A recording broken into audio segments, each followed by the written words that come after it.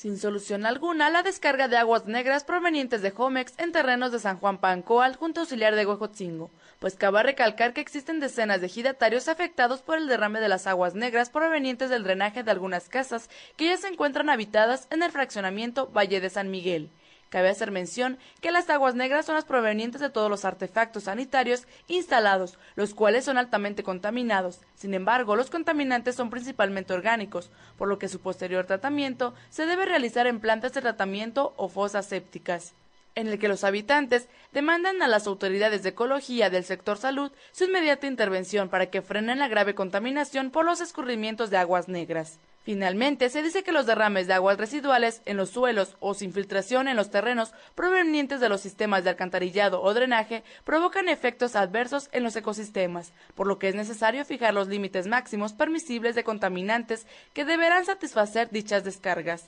Informó para Noticieros Puntual Delia Reyes.